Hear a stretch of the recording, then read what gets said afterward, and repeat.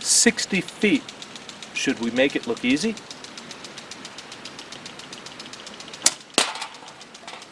It is easy.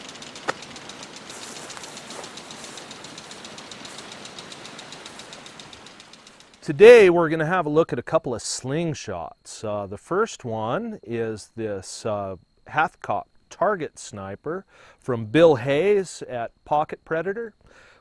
And the other one is the Simple Shot. Uh, it's from simpleshot.com.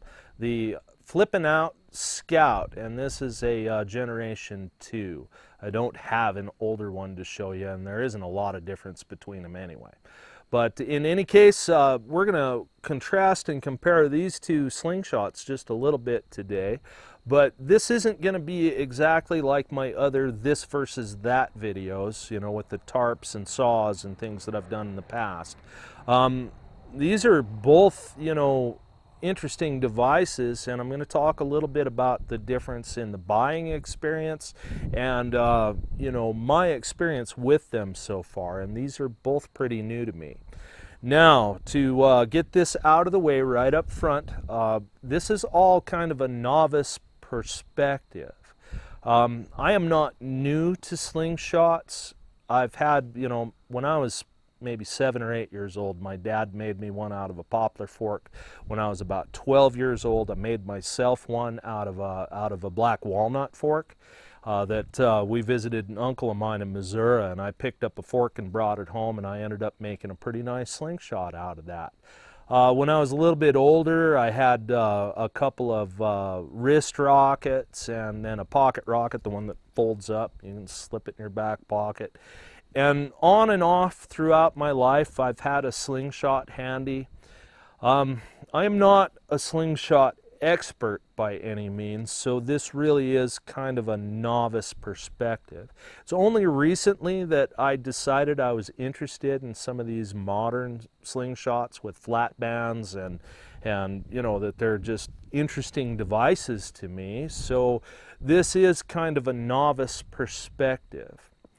And while we're at that, the reason I chose these two to talk about is that I think if you uh, uh, specifically, if you're using YouTube to get this sort of information, if you're thinking, hey, you know, I might want to put a slingshot in my in my get home bag or I might want to put a slingshot in my bug out bag or you know maybe one of these devices could help me procure protein in a bad situation you know those kind of topics in the survivalist forums and bushcraft forums and etc if you were relying on YouTube I think it's really likely that you're going to end up guided to one of these two slingshots. Um, let's talk just a little bit about these after we see some footage of some shooting. All right. Okay, we're going to go out here to 100 feet. I don't know if I can hit that at 100 feet or not. Um, I'd like to, but let's see what happens here.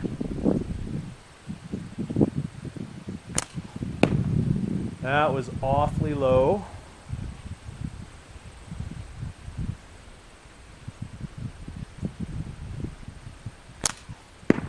I was a little left.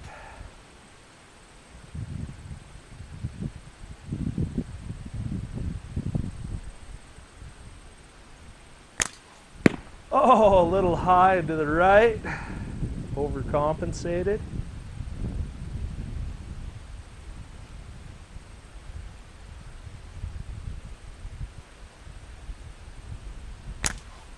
Yeah! I'm happy with that. That's it we're done. Uh, well, you know what? Since I did it with that slingshot, maybe I ought to try it with the other one. Want me to go to... Here, let's just go out to 100 feet with this one. I've only got about three lead balls left in my pocket, so if I miss them, I miss them.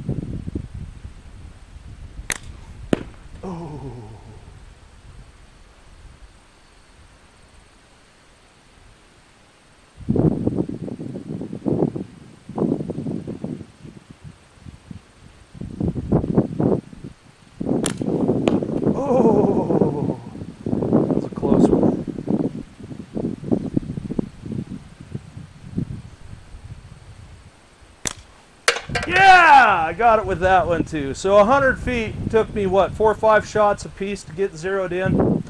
I am uh, I'm pretty satisfied with that.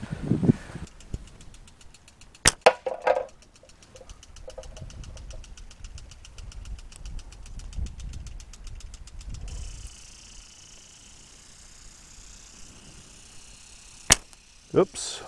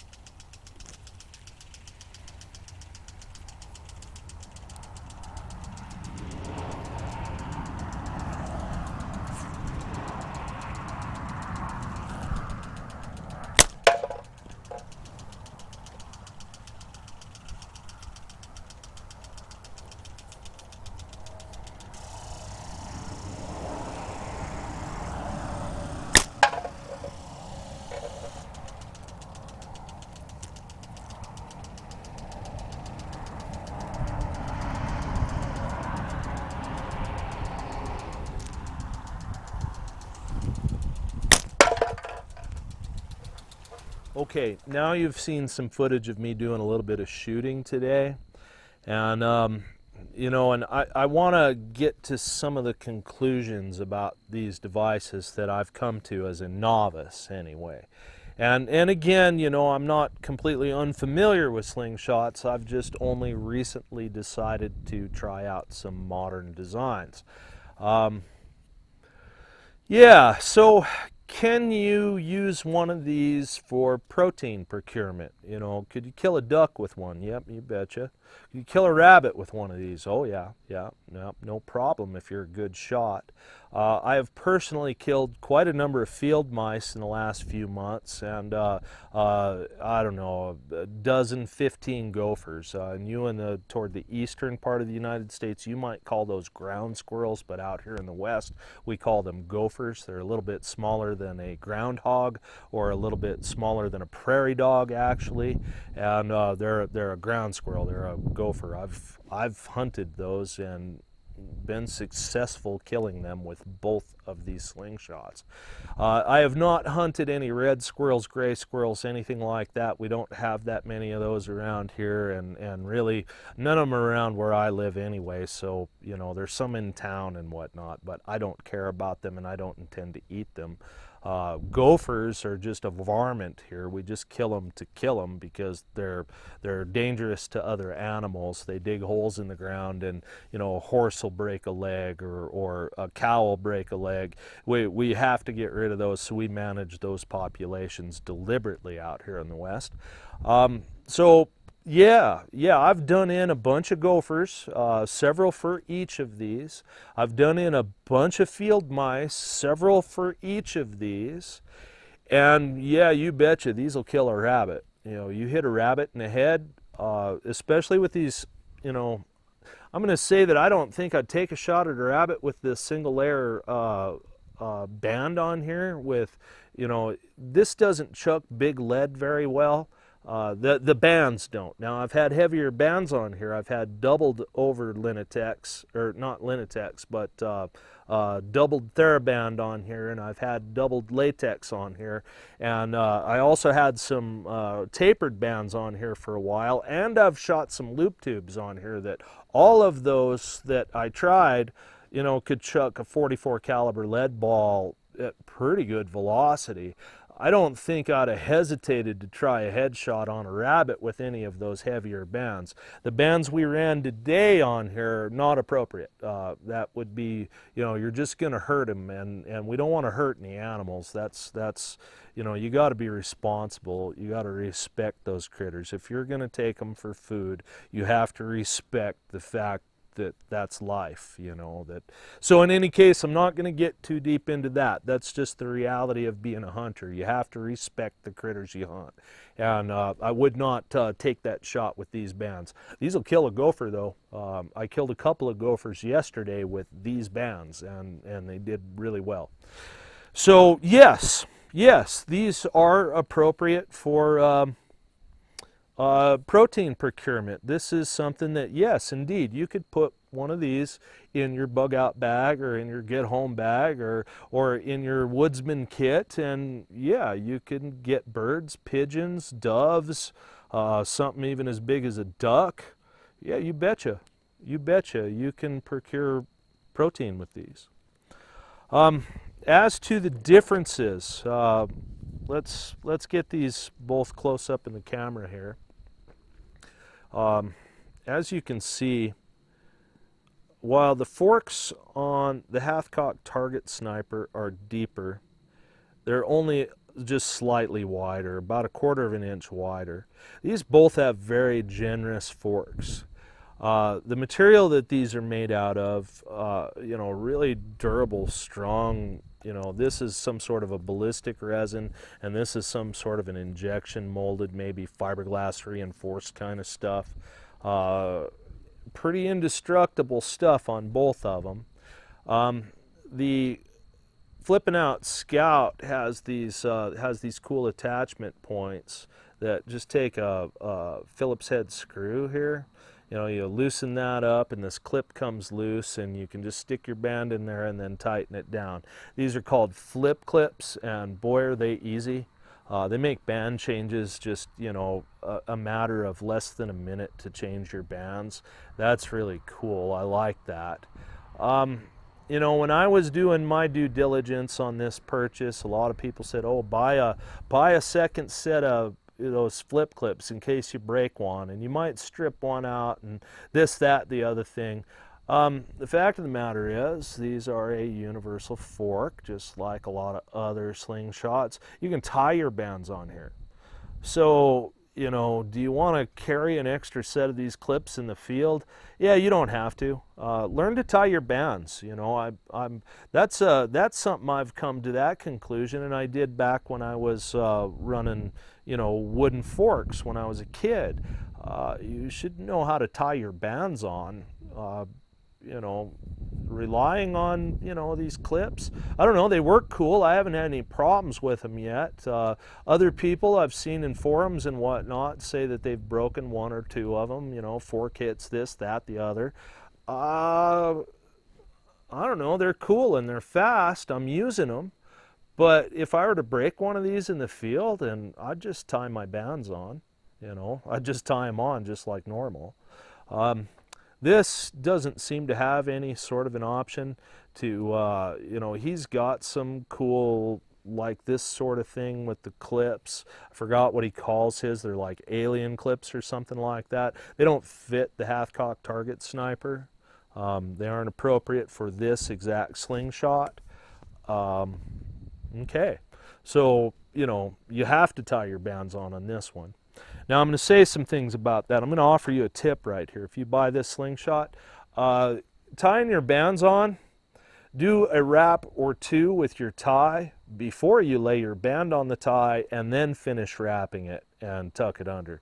Uh, this the paint job on this or whatever the surface is is pretty slippery. I had some trouble with the bands that came on this. Um, they were cut too long for my draw and I, I pulled the bands and, and cut them a little shorter down to about seven and a half inches from the nine inches that I think that they were. Uh, yeah, I had some real difficulty tying the bands on the first couple tries, and I ended up pulling the band through the ties a couple times, and I tore that band. So I never even got one shot out of the bands, the and that was TheraBand Gold. It was nice wide TheraBand Gold that came on this. I never even took one shot with with the band that came on this before I destroyed it. Uh, that was my own not really understanding what was going on. Uh, but uh, that's a tip. I'm offering that as a tip. Now, purchasing these. Here's the other thing that's uh, that. All right, if you buy a slingshot from Simple Shot like this Scout or most of their other stuff, you're going to have it in three or four days. It's uh, they pop it right in the mail. It's ready to go. You're going to have it in three or four days, and that's very cool. If you buy this particular slingshot from Bill Hayes at Pocket Predator, it's going to take him a month to even get it made. Uh, you need to know that up front because a lot of people end up complaining about that. Um, I, have seen complaints in those slingshot forums. I've seen a couple of videos where people complained about that. Know what you're getting into. Know that you're in for a wait because he is actually going to make this for you. This isn't something that he's got 200 of them sitting out in the shed and he'll just go grab one, throw it in the mail. He has to make this for you when, you know, you order it. Um, so, you know, and he sells a lot of other slingshots. He's got a lot of stuff going on. Uh, mine took about six weeks to get to me. Um, and they don't communicate all that well. Um, this is uh, this is legit. This is this is worth mentioning that you know after you've ordered this slingshot, if you're curious about what's going on or and you email them, you're probably not going to hear anything back. Uh, that was my experience, and I've heard other people say that. This is this is a nice fellow and his lovely bride, who are just the two of them running this business. And you know what? They're not great communicators. Um, Here's That's what I think about these two slingshots. Um, boy, this one is so fun to shoot. I just, I really enjoy shooting this a little more than I enjoy shooting this uh, with target bands on it. Uh, when heavier bands are on this, even though this swell here, you know, does a really good job and, and you know, this is the kind of you know, I, I shoot this kind of a modified pinch grip. I, I use a, a thumb support plus an index finger support. It's kind of a modified pinch. Uh, yeah, this stands out for my hand. And with lighter bands on this, this is the funnest, most accurate. I, it's, it's a blast. It's so easy to get in good practice with this. It's so easy to start hitting stuff. It's so easy to start getting on target with this and understanding how, you know, a modern set of forks behaves. Uh, yeah, it's a lot of fun. Once we start getting heavier bands on this, I have a little trouble with it. Now, I, again, this is a novice perspective. I'm not an expert, uh, but the heavier the bands, the more pressure is on my index finger, the more pressure is on my thumb, the harder it is to keep for me to keep it perpendicular. Uh, yeah, it's hard to be it's harder for me to be accurate with heavier bands on this. This slingshot, okay, big complaint that everybody, you know, if you're researching this slingshot, people are going to say, oh, well, it's so dang big, it doesn't fit my hand all that well, and boy, you must have to be a giant to use this. Uh, all right, so um, these days, I wear, you know, a large size glove. When, uh, when gloves were made in America and, and now they're not, try to find an American made glove, I wore, uh, I wore a medium you know, that was, uh, I don't have giant hands. They aren't big ham fists, you know. I, I've got a pretty normal sized hand, but I have to wear a large size made in China or made in Korea glove. Um, that's just the best I can do to describe the size of my hands. I do wear a large glove, but I didn't used to. When gloves were made in America, I wore a medium. Um, all right, so you put a heavier band on this, and you've got these finger grooves and, and this, uh, I don't know what to call this, the place for your thumb. When you have a heavier band on this and start pulling back on this, this locks in to those grooves. It just, it flattens your hand out and it keeps your wrist in a neutral position. You, it just stays neutral the whole time. Oh, and I just noticed that I, uh, I split a band today. So that's good to know. See if we can see that on the tip of my finger there. Uh, so I have to change these bands, which is good news. I'm not going to stretch it anymore on camera because I'll whack myself in the face with it. Um, but in any case, that, uh, that spreading your fingers out in these finger grooves and this uh, slot for your thumb here, when you start putting a bunch of pressure back on this, it just tightens into your fingers. This slingshot is a lot easier to shoot heavier bands on. Um, you know, a lot of people talk about this little notch in the top and you're supposed to aim with this and I don't find that to be the most important feature although it's nice you know it does give you a you know if you if you've ever you know shot old rifles um, you know that's uh, uh, you know, it's kind of like looking down a buckhorn, although kind of backwards, but still, you know, it's a very familiar method of sighting.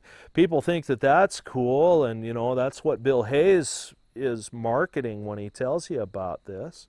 Um, but honestly, it's that pressure. It's as this as this pressure comes back into your hand, it just sucks in between your fingers tighter and tighter, and your your wrist is able to stay completely neutral. I think that this slingshot is more appropriate for heavier bands. Uh, you know, again, novice perspective. All right way more fun to shoot, easier to get accurate with. Uh, feels just great, man. That just fits so nice. I, you know, it, it's uh, a narrower grip. It's very comfortable for long shooting sessions, and you know, I should have said that when I was talking about this. That you know, long shooting sessions. This thing is spreading your hand out. You know. Uh, hundreds of shots. Yeah, uh, this is a lot more fun to shoot hundreds of shots through than this set of forks. Uh, it, this will get uncomfortable after a while, and that's just the truth. I think it's more stable with heavier bands. I think it's you know if I were if I were planning to hunt a lot of rabbit with slingshots, I think I'm choosing this one if I want to get really good with a slingshot and be super accurate and just plinking and having a good time a lot, I think it's this one. Um, I haven't tried to take any, you know, I haven't shot any ducks or anything like that with this, and it's probably illegal in my state anyway. I got to look into that. But uh, you know, I, I don't think I can take doves with this. I don't think that I can legally take, you know, uh, uh, ducks or other birds with this. I, I, I, doubt it. But I think it's pretty capable. Um, I don't think it'd be that tough to, uh, if you get accurate enough, I don't think it'd be that tough to take those kind of critters uh, with the appropriate ammo and the appropriate bands. Once you start getting into really heavy bands on this, though, this is this is you know easier to hold on to. It just the heavier the bands, the more it sucks into your hand. Uh, this is a lot easier to shoot a lot more. So, if I'm recommending one of these two to a beginner, to a novice, to somebody who wants to throw it in their bug out bag, somebody who just wants to learn about slingshots, guess what? Buy them both buy them both. They're they're both like less than 40 bucks. Uh, buy both of these. Don't don't you know? Don't try to choose between one or the other. Get this. If this is a first slingshot, you want it in a hurry. You're going to get this one in a hurry. He's going to send this right out to you. Great customer service. Any question you have, email them. They'll get right back to you. It's amazing.